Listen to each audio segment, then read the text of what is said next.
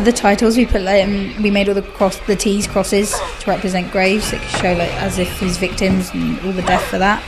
And then all around the room, we hung dolls, purses, keys, possessions of his previous victims to make it really spooky and proper psycho lair.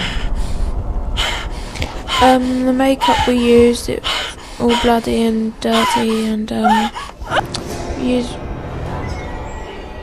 pictures of girls um, to show how many the killer has killed. Uh, basically, here we we didn't want to shoot the killer's face, so we only took shots of his feet, waist below, so it has a mystery throughout the rest of the film. Thought it would probably be better to have some suspense. And here's the head decapitation to imply she's been killed. We it's it's a 15, so we didn't want it. As the title target disappears is when he's crossing out her face, so it's um, to imply that it's all over. And then it zooms out to the rest of the wall to see all the victims that he's killed and crossed out, which shows and implies how many other people he has killed.